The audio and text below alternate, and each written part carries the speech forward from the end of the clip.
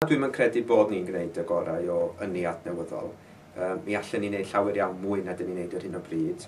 Um, er bod gennym ni adnoddau naturiol da o safbwynt gwynt a, uh, gwynt a, a pwer y môr, dwi'n meddwl bod ni'n gwneud digon ohono fo. Dwi'n meddwl bod eisiau ni fod y buddsoddi mwy uh, i sicrhau bod ni'n gallu elwa, os liciwch chi, o'r datblygiadau yma yn economaidd.